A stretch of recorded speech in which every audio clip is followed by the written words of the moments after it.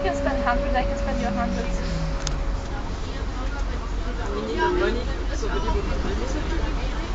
Yeah, I can, I can. I told you that. Filip Tosivsky from Macedonia. I have savings. Elodie Lafitte from uh, What's the country again? France, I yeah. have Public de Oui, oui, Dejanova From from, Bulgaria. Bulgaria. And Maria Stashkevich from Europe. Exactly. And this is your host, Germany. Milo Stanojević from the Kingdom of Serbia, including Kosovo. And this is somebody who sleeps in train. Or reads. Yeah, actually reads.